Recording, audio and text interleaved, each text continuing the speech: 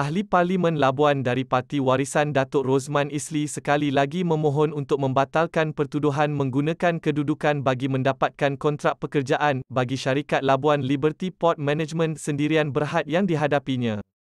Peguam Muhammad Rafiq Rashid Ali yang mewakili Rosman dalam kenyataan media berkata permohonan itu difailkan di Mahkamah Tinggi di sini pada 11 Mei lepas atas alasan pertuduhan terhadap anak guamnya tiada merit atau asas dari segi fakta mahupun perundangan.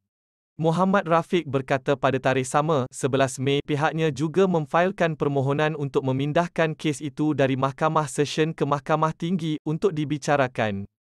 Pada pengurusan kes di hadapan Timbalan Pendaftar Mahkamah Tinggi Nur Syafini Mustafha hari ini, Mahkamah menetapkan 26 Mei untuk pengurusan kes bagi permohonan untuk membatalkan pertuduhan, sementara pengurusan kes bagi permohonan memindahkan kes ke Mahkamah Tinggi ditetapkan pada 23 Jun ini, katanya. Pada 4 April lepas, Mahkamah Session di sini menolak permohonan Rosman untuk membatalkan pertuduhan yang dihadapinya. Mahkamah sebelum ini menetapkan 27, 28 dan 29 Jun 7 Julai serta 11 dan 12 Ogos sebagai tarikh perbicaraan.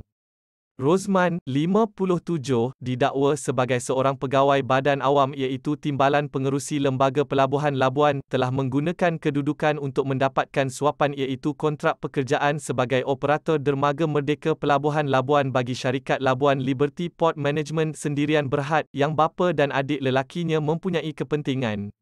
Beliau didakwa melakukan perbuatan itu di Bilik Mesyuarat TKSU, Aras 9, Kementerian Pengangkutan Malaysia, Jalan Tun Hussein, Presin 4, Putrajaya antara jam 2.30 hingga 5.30 petang pada 21 Mac 2018. Pertuduhan terhadapnya adalah mengikut Seksyen 23 Kurungan 1 Akta SPRM dan boleh dihukum di bawah Seksyen 24 Kurungan 1 Akta sama, yang membawa hukuman maksimum penjara 20 tahun serta denda 5 kali nilai suapan atau RM10,000 mengikut mana lebih tinggi, jika sabit kesalahan.